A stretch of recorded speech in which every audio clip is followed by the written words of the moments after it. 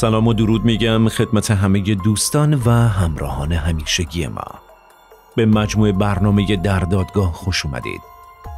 در این برنامه به اسرار عجیب قتل و سرقت ها از دلار فروشان میدان فردوسی می‌پردازیم. پرونده قتلی که در سال 1396 و در تهران اتفاق افتاد. در سری مجموعه در دادگاه ما به بررسی پرونده های جنجالی ایران و به دادگاه های اونها می‌پردازیم و پرونده رو از زمان وقوع قتل تا رأی نهایی دادگاه بررسی می‌کنیم. پس در ادامه با ما همراه باشید. ماجرا به ششم فروردین ماه سال 96 برمیگرده. در این روز از طریق مرکز فوریت های پلیسی ماموران کلانتری 129 جامی در جریان یک درگیری و تصادف زنجیره‌ای قرار گرفتند. بنابر مندرجات موجود در پرونده، اون روز راننده یک دستگاه خودروی پراید بعد از ایجاد یک تصادف زنجیره‌ای با چند خودروی پارک شده در خیابان خارک و زمانی که ماموران راهور و شهروندان پیش از اون فردی مجروح را از داخل خودروی پرایدش خارج کرده بودند، با تهدید اسلحه از محل متواری شد.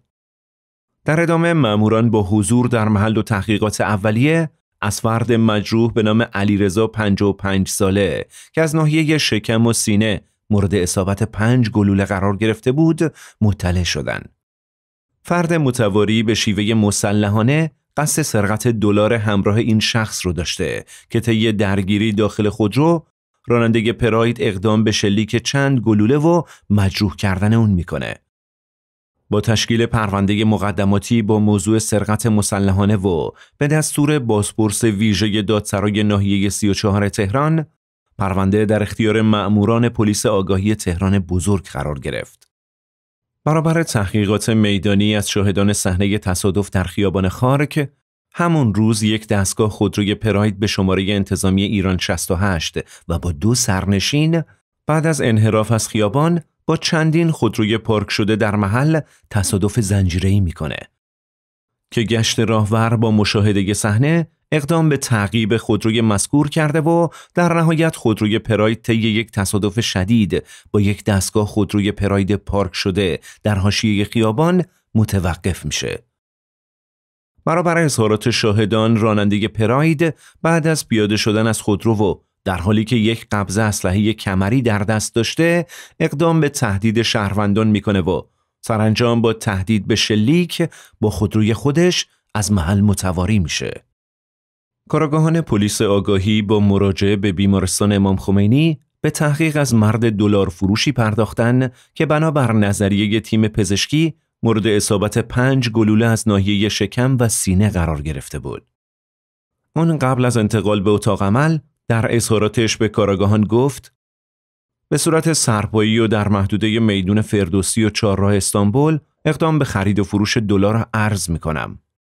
روز حادثه در حاشیه خیابون فردوسی وایستاده بودم که یه دستگاه پراید مقابل من توقف کرد و راننده اون ضمن معرفی خودش به عنوان مأمور پلیس با بیسیم و دستبند از من خواست تا سوار ماشین اون بشم.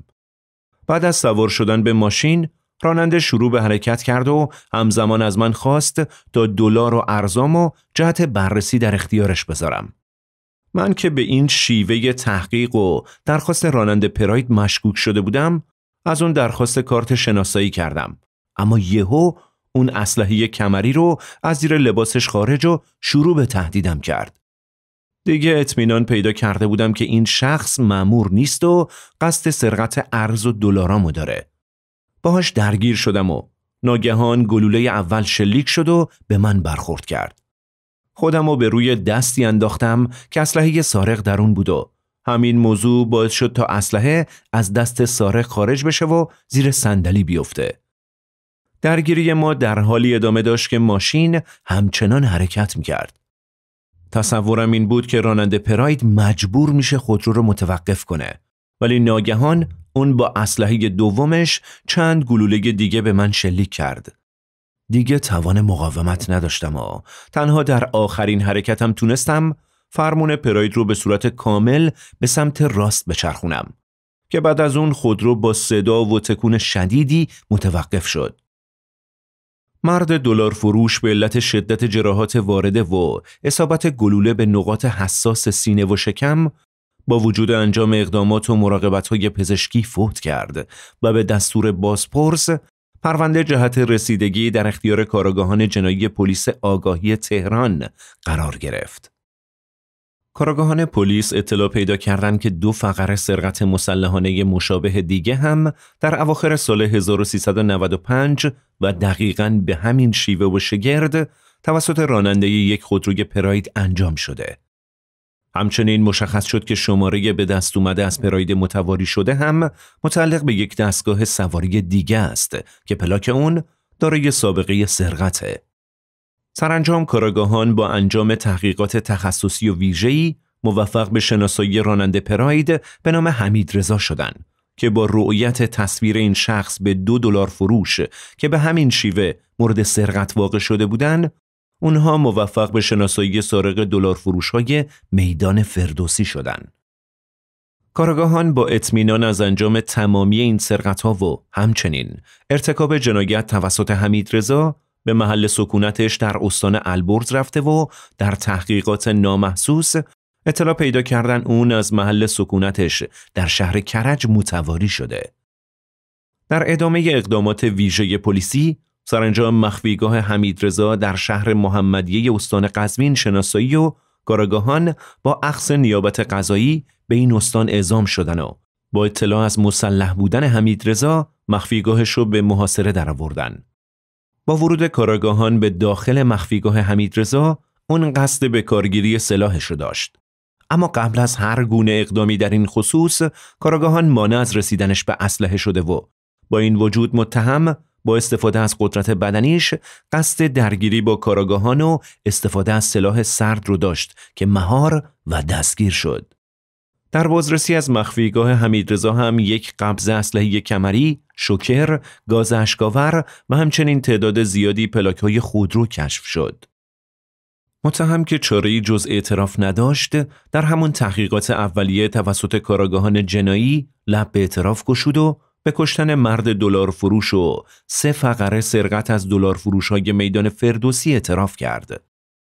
در ادامه متهم به بازسازی صحنه جنایت پرداخت و بعد از تکمیل تحقیقات در پرونده سرانجام کیفرخواست علیه اون صادر شد و با ارسال پرونده به شعبه دوم دادگاه کیفری یک استان تهران اون در جلسه به ریاست قاضی زالی و مستشاری قاضی دلداری محاکمه شد. در ابتدای این جلسه پس از قرائت متن کیفرخواست توسط نماینده دادستان ابتدا اولیای دم در جایگاه قرار گرفتن و برای قاتل فرزندشون درخواست قصاص کردند. بعد از اون یک نفر هم که متهم از اون سرقت کرده بود به جایگاه دعوت شد و از متهم شکایت خودشو مطرح کرد. در ادامه متهم به جایگاه فراخونده شد و با قبول کردن تمامی اتهامات عنوان شده در متن کیفرخواست ماجرای قتل رو همونطور که رخ داده بود توضیح داد و اعتراف کرد که قصدش از سرقتها کشتن کسی نبوده و اگه می‌دونست قرار کسی کشته بشه هیچ وقت اقدام به سرقت نمی کرد. اون در آخرین دفاعیات از خودش هم عنوان داشت حالا که آخرین فرصت خودم رو برای بازگویی و طلب بخشش از اولیای دم مقتول دارم از محضر دادگاه خواستار اجازه هستم تا بتونم صحبتهایی رو بگم که تا به حال جایی مطرح نکردم و همگی عین واقعیتن. من پدر پیری دارم و از روزی که به زندان افتادم نه تنها اون بلکه هیچ کس دیگم به سراغ من نیومده. تو زندان کار می‌کنم و ماهی 500 هزار تومن درآمد در ازای شستن ظرفای زندان دریافت می‌کنم کمر مستقیم به کارت پدرم میریزم. البته اینا رو نمیگم که بخوام مظلوم نمایی کنم و از خانواده مقتول بخوام که منو ببخشن. فقط می‌خوام به جایی برسم که بدونن ماجرای اسلحه داشتنم ربطی به فرزند اونا نداشته و من با پسر اونا پدر کشتگی نداشتم که بخوام اونو بکشم. آخرین باری که خواهرم رو دیدم یادمه. اون هفت سال سن داشت و وقتی من از پشت پنجره اون رو نگاه می کردم همراه مادرم از در حیات خونه خارج شدن. بارون می اومد و هیچ وقت اون روز رو فراموش نمی کنم. تا چند وقت از مادر و خواهرم هیچ خبری نبود. پدرم همه جا رو گشت. اما انگار که آب شده و رفته بودن تو زمین. منم خودم با اینکه سیزده سال سن داشتم همراه اون بودم و همه جا رو به امید پیدا کردنشون میگشتیم. تا اینکه چند سال بعد از طریق اقوام متوجه شدیم اونا به اوکراین رفتن. من اسلحه رو برای همین خریده بودم تا مسبب همه بدبختیامونو بکشم. بعد از اون که مادر و خواهرم رفتن پدرم بدبخت شد و کمرش زیر قصه رفتن اونا شکست. اون شبا وقتی میخوابید نیمای شب بیدار می‌شد و بلند فریاد می‌کشید. من هنوز اون روزا رو یادم نرفته. بعد از اون پدرم از نظر مالیم ورشکسته شد و بعد از مدتی دیگه توان کار کردنم نداشت. من کار کردن آر نمی‌دونستم. الانم همونطور که گفتم تو زندان ظرف میشورم. اما دیگه همه چیز برای من تموم شده بود. یه ماه قبل از اینکه سرقتامو شروع کنم متوجه شدم مریضی پدرم اوت کرده و اگه نتونم اونو درمان کنم دکترها پاشم قطع می‌کنن. یعنی از اون به بعد دیگه باید پدرم رو می‌دیدم که نه تنها هیچ کاری از دستش بر نمیاد بلکه شب و روزشو روی ویلچر سر می‌کنه. دیگه تحملم تموم شده بود. باید کاری می‌کردم. تصمیم خودم رو گرفتم و با گرفتن وسایل پلیسی و به اضافه اون دو تفنگی که از قبل داشتم و برای از بین بردن مسبب بدبختیامون خریده بودم تا اگه روزی اونا رو دیدم انتقام رنجای پدرم ازشون بگیرم نقشه های سرقت های مسلحانه از دلار فروشی های میدون فردوسی رو کلید زدم. بله. اگه شما به من نگاه می کنید و چهره تکیده منو می بینید که تو سی و هشت سالگی انگار پنجاه سال سن دارم باید بگم که اینا همگی به خاطر رنج و قصه هایی که پدرم تحمل کرده و حالا من با زندگی فاجعه باری که در اون سالهامو سیاه کردم یه قاتل شدم که در انتظار اعدام به سر می‌برم و حالا تنها صحنه ای که در ذهن من جا خوش کرده همون روز بارونیه که خواهرم وقتی دستش تو دست مادرم بود از در حیات خونه خارج شدن و من دیگه هیچ وقت اونا رو ندیدم. در انتهای جلسه دادگاه هیئت قضایی وارد شور شدن تا برای تعیین سرنوشت متهم تصمیم گیری کنند. حمید رضا بر اساس رأی نهایی دادگاه به قصاص محکوم شد. برای بررسی نگفته های قتل هایی که مو به تنتون سیخ می‌کنه بهتون پیشنهاد می‌کنم حتما این برنامه رو ببینید. ما همیشه منتظر شنیدن نظرات خوب شما عزیزان هستیم. براتون آرزوی سلامتی و سربلندی رو دارم پیروز و شاد باشید